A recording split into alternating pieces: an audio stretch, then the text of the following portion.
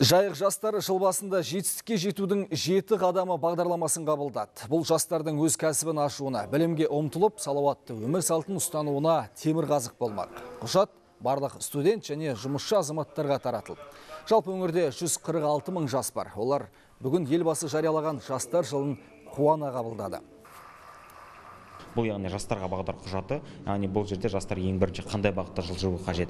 Ол жерде кәсіпкерлік саласы жастар өз өзінің әрдайым өз өзін тәрбиелеп отыруы қажет өз өзін дамытып отыруы қажет. Мысалы қазіргі таңда жастар арасында трендке айналған кітап оқу мәселесі. Біздер әртүрлі әлеуметтік желіге жаңағы жастарымызды кітап оқуға шақырып сол үшін кітап көрмелерін дайындап мысалға бук кроссинг деген ақжайық букдейтинг деген шараларымызды өткізіп жатырмыз. Біздің ойымызша жастардың бүгінгі келбеті осындай болуы қажет деген құжат қабылданды.